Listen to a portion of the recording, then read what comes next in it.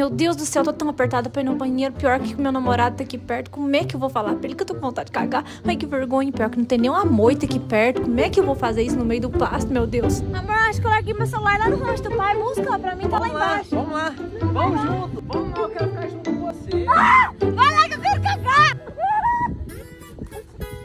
Por que, que ela não falou antes, né? Minha Tinha dado velho.